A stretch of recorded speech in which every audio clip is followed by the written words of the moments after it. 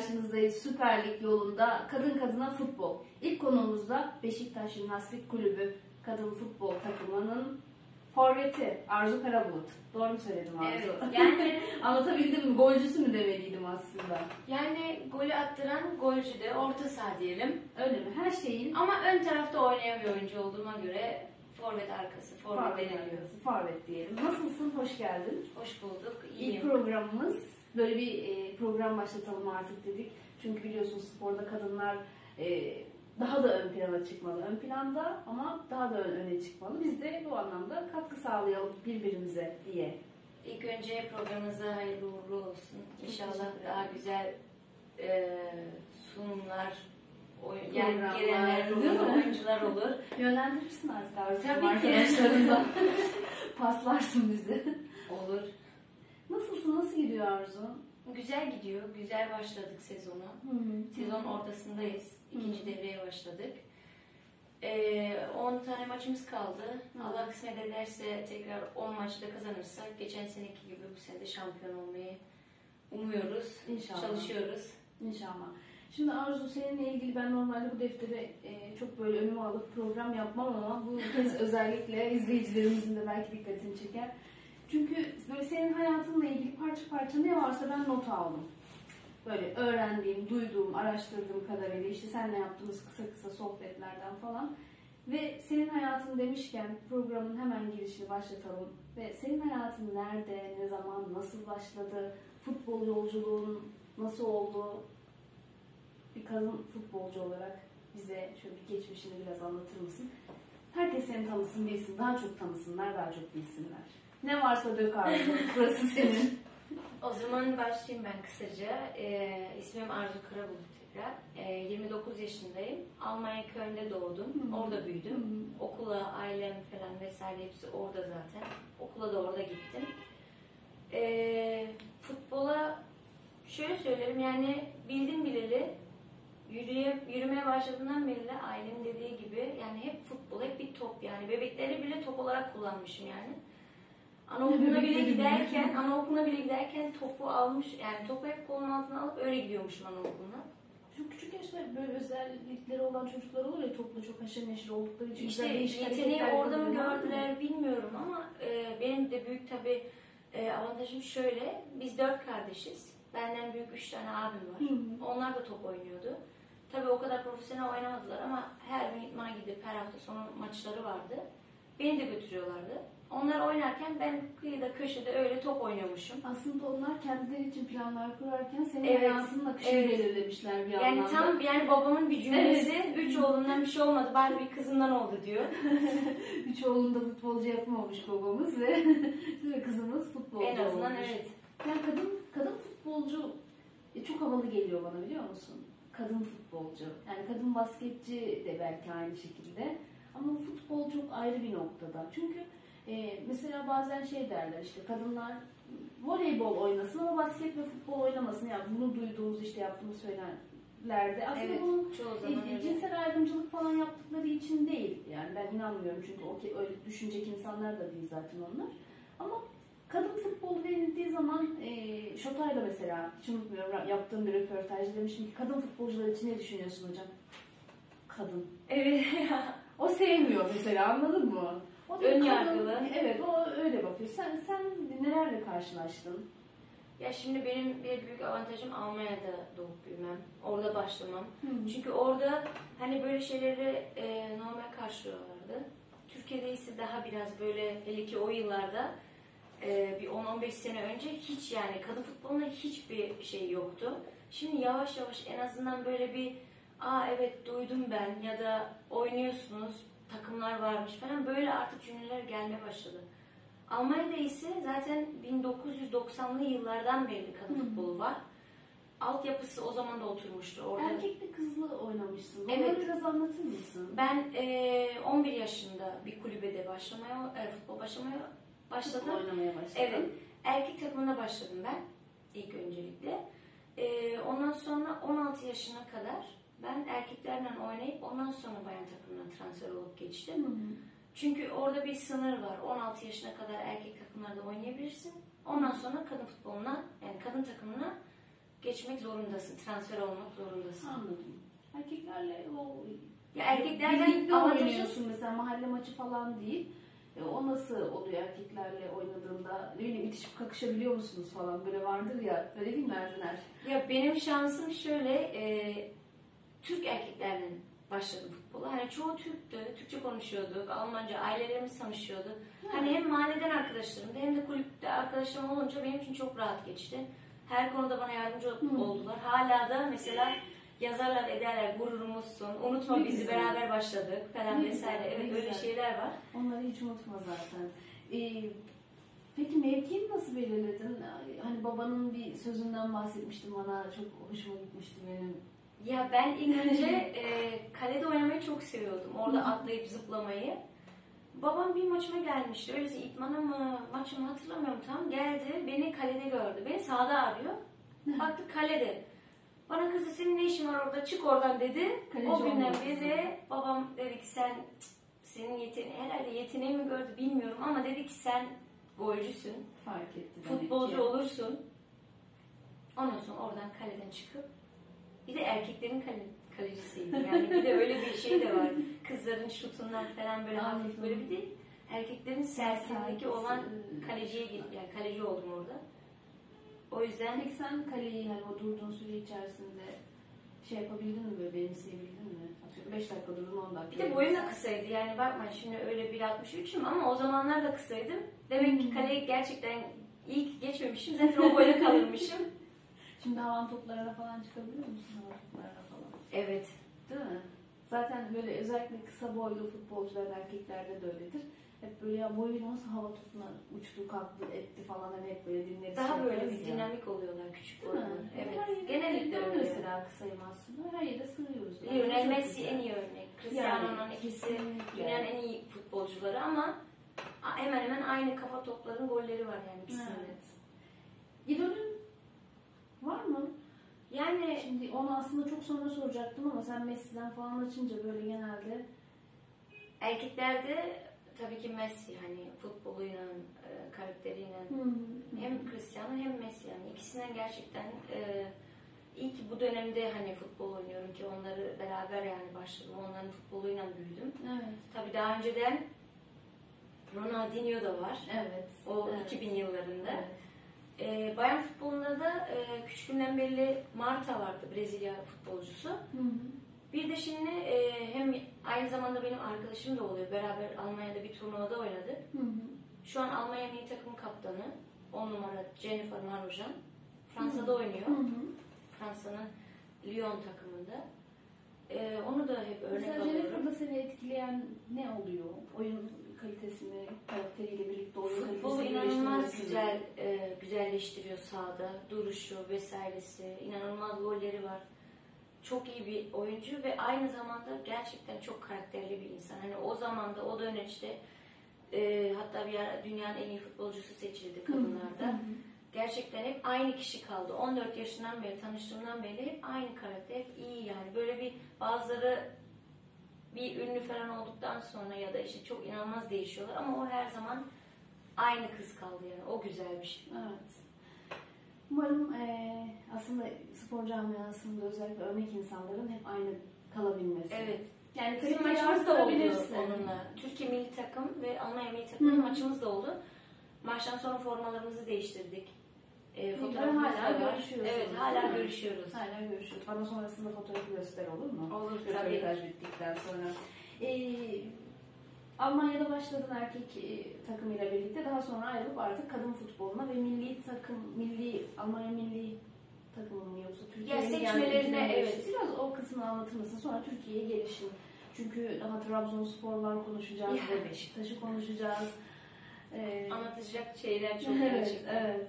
Yani e, 14 yaşındaydım ben. E, Alman milli takım seçmelerine de katıldım. Seçildim de ama e, o zaman çifte vatandaşım, çifte vatandaştım.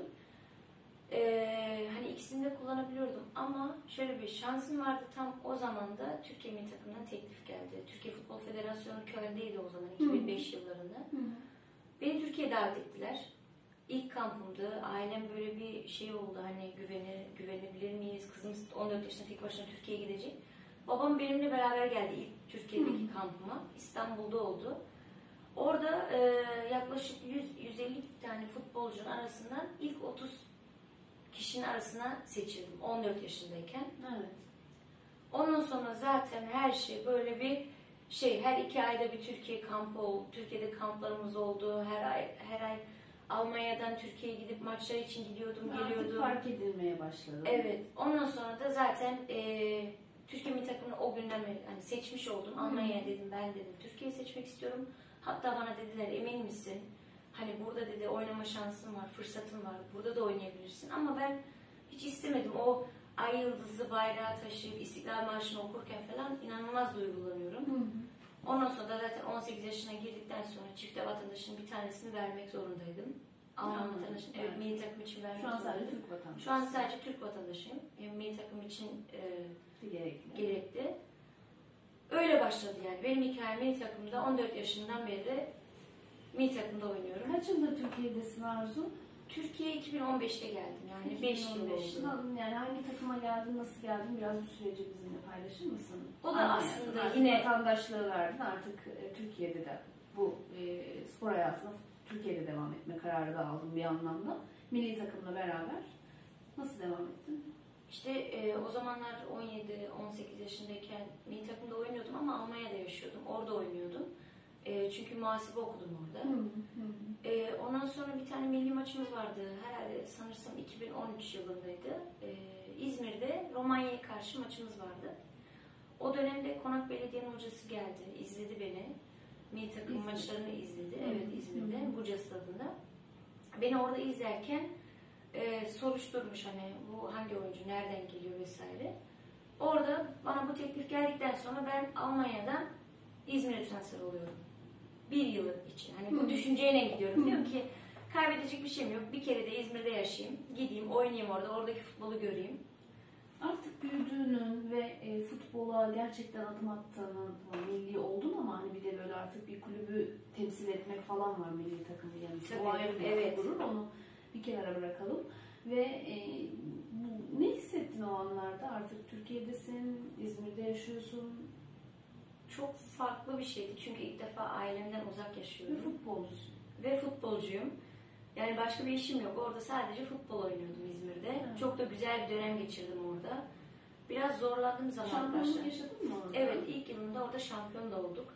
Ondan sonra zaten düşüncem tamam şampiyonluğu yaşadım. Buradaki futbolu da gördüm. Dönmek istedim Almanya. Almanya'ya. Ama orada işte e, yine buna benzeri bir şey oldu. Türkiye milli takımından e, Rize'de hazırlık maçımız vardı Gürcistan'a karşı. Bu sefer Trabzon'un hocası geliyor orada beni izliyor ve diyor ki hani bu kim? Bu Konak Belediye'de oynayan Arzu diyorlar.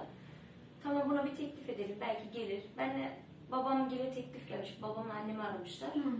Söylediler dediler böyle böyle bu sefer Trabzon geldi. Ben dedim istemiyorum ben Almanya'ya dönmek istiyorum. Hı.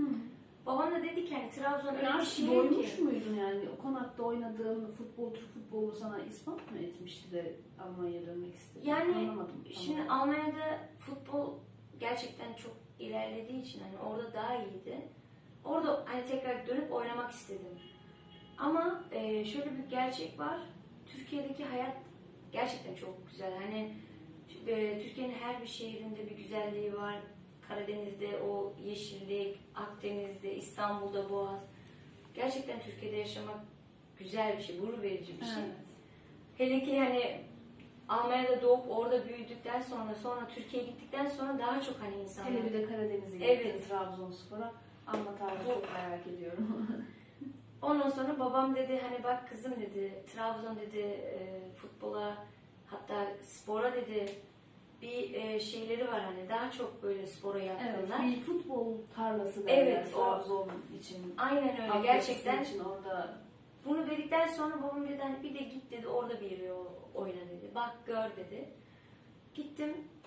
Ee, gider gitmez zaten üç, e, herhalde ya 3 ya da 4 kilo aldım direkt. Çünkü oranın yemeği, pidesi, hamsi her şey inanılmaz bir şehir. Her şey çok güzel. Tereyağından tut, kuymak. Kuymak yani ben bir kuymakçı var bir ara gidelim. olur. Bu sözü de burada. Gerçekten Adem çok babama güzel. selam olsun. Aleyküm selam. Şimdi E, Trabzon ve Trabzon şehrini, Trabzonspor takımını çok ben, benimsediğini biliyorum anlattıklarından da böyle Evet. gözlerin ışıl ışıl oluyor çünkü Trabzon. Beşiktaş derken ne olur o gözler bilemiyorum artık. Trabzon'da bu kadarsa. E, gol kraliçesi seçilmişsin. Ne Evet. kadar havalı ya Arzu. Çok iyi değil mi? İlk yılında orada gol kraliçesi oldum. Takım Kaç gol olduğunu ben bakmadım. Sen de tam onu zaten sayısız artık değil mi? O kadar e, Yani e, herhalde 14 maçta 25 goldü. Orada şampiyonluk yaşamadın ama gol kraliçesi. Kıl payı kaçırdık şampiyonluğu. Yine ama yine orada e, atıyorum diğer takımlarda hep şampiyonluk gördün. Trabzon'da göremedin ama orada da farklı bir şey olmuş. Evet, orada farklı bir başarı e, elde geçirdim. Şa- Yani gol Evet. kraliçesi oldum. Çok güzel. Güzel bir şeydi gerçekten. Ama işte Trabzon'a buradan bir mesaj göndermek ister misin? Trabzon'a Trabzonspor bir Beşiktaş futbolcusu olarak. ya oradaki kartal olarak. Trabzon e, ne diyeyim yani bir de bir ara oranın şiddesinde kapmıştım. ne? Ne yaparsınız? Ya. Nereye gidiyorsun? Ne yapıyorsun uşağım? Yani bu tarz şeyler Ben bunu yapamam. Karadenizliyim ama yapamam. Ben bir ara Hayır, gerçekten alıştım hani gel bakayım sen videolarda. Çok güzel. Ya Oradaki teyzeler falan. Ne yapsana Arzu? Sen şuraya yapardın. Gel bakayım hamsi yiyelim de.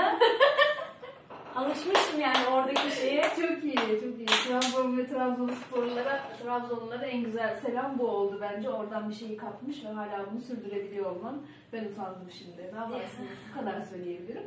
Ve Beşiktaş tutkunu. Ki biliyorum ki Beşiktaş tutkunun çok fazla. Ayrılık kararı nasıl oldu? Sonra Beşiktaş galiba. Orayı Yok. anlatır mısın bize? Ee, Trabzon'da hiç inanılmaz beklentilere karşı bir yıldan sonra bir yıl daha kaldım. Çünkü çok hoşuma İki gitti. sezon. İki sezon oynadım orada. Yani Uşağın memeleri mi hoşuna gitti? Hamsiler, pideler Yok falan mı? oradaki e, taraftar, yaşlı teyzeler gelip çekirdeğini alıp bizi izlemeleri, oradaki destek, kulüp kulübe karşı destek. Kadın futbolunu tuttular değil mi? orada? Evet, orada. Çok. O çok iyiydi, o çok hoşuma gitti. E, takım içerisindeki arkadaşlarım çok iyiydi. Hepimiz çok iyi bir aile olmuştuk orada. Alıştık birbirimize. E, ondan sonra dediğim gibi bir sene daha kaldım.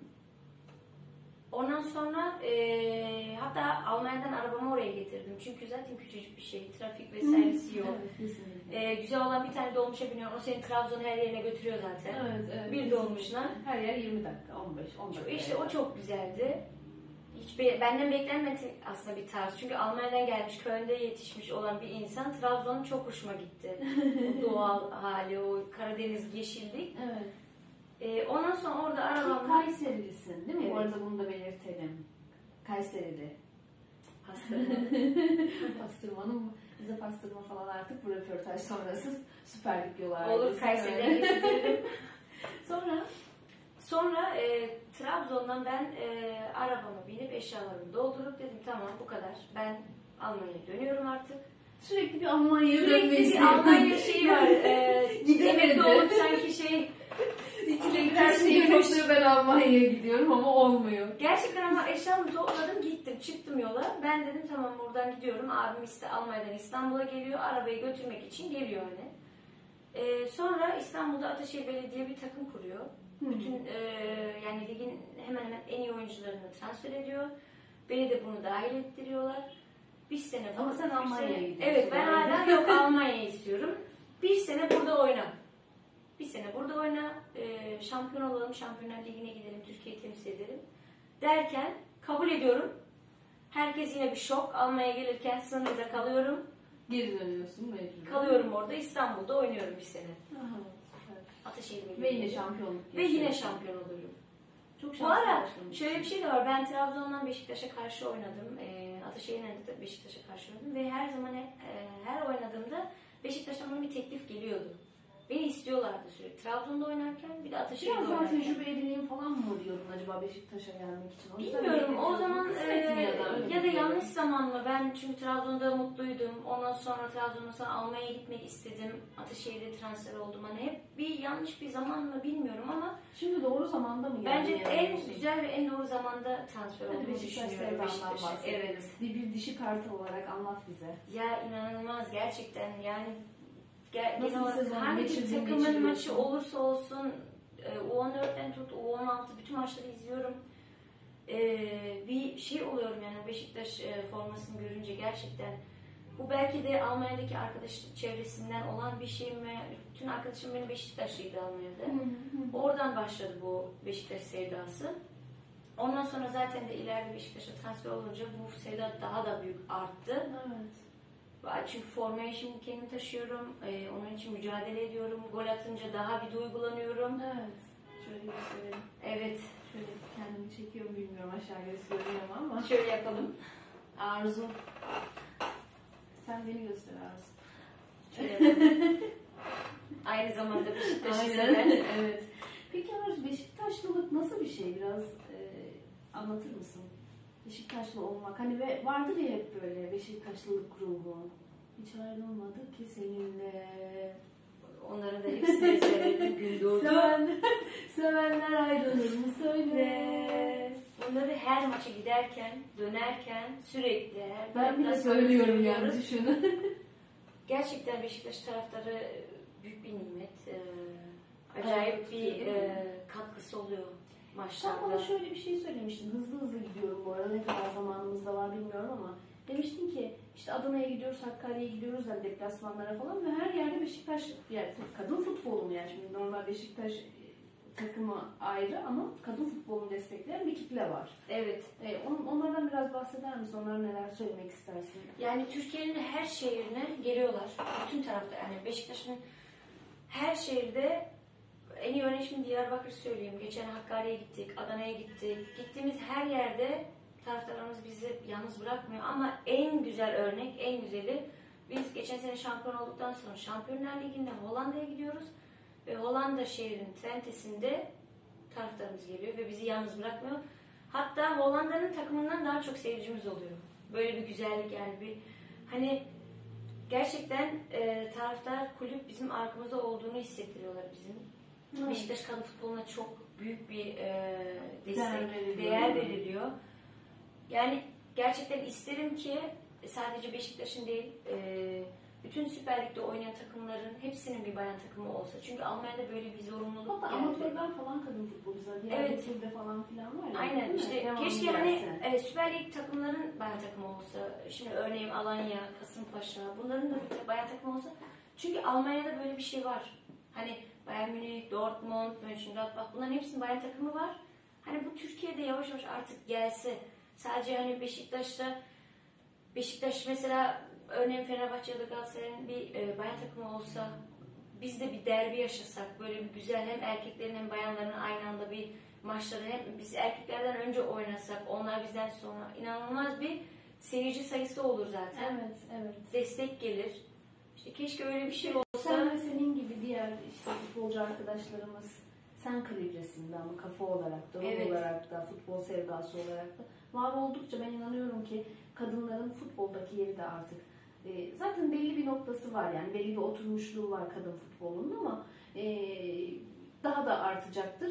E, biliyorsun yani e, bir cinsiyet ayrımcılığı olur mu acaba diye böyle söylemeyi Oluyor. de 50 kere düşünüyorum. O yüzden bunu geçiyorum ve sana ben e, düşüncemi değil de senin fikrini ve senin yaşadığını ailen nasıl baktı bu olaya? Yani e, kadın, futbol ve aileyi bir araya getirirsek düşünüyorum şimdi ben acaba benim ailem izin verir miydi? Ben de çocukken işte babasıyla dağda, bayırda, yolda, çamurda top oynayan bir kız çocuğu. Ama işin bu kısmını almışım ben. İşte soru soran, Elif amcam soruyor.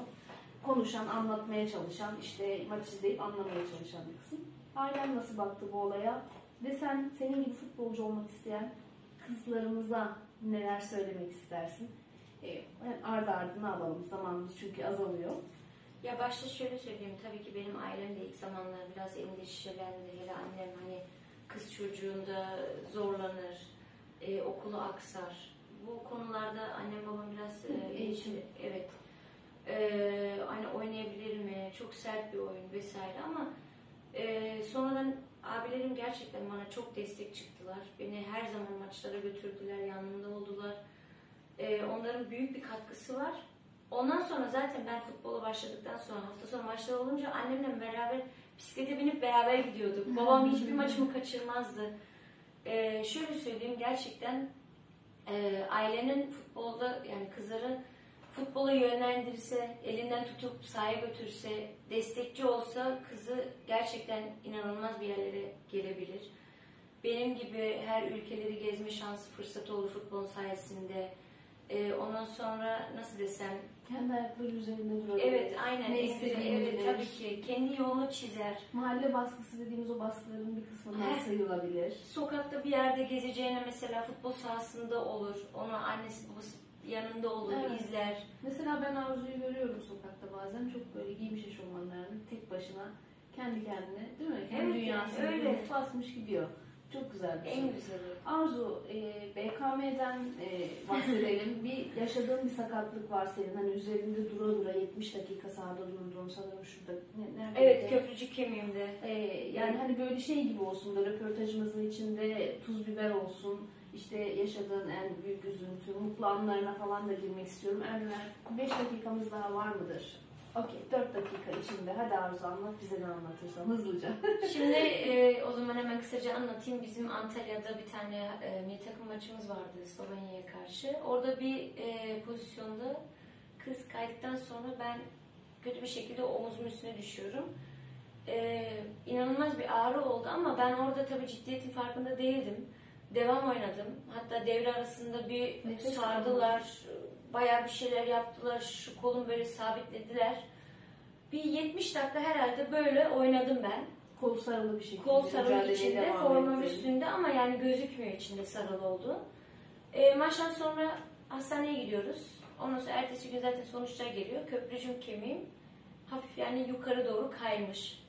Ne kadar sürdü tedavi 6 süreci? hafta, 6 ve 8 hafta e, Sahalardan uzak sa- evet uzak kaldım ve hani bir tane böyle nasıl desem ya destekçi bir şey omuz Evet.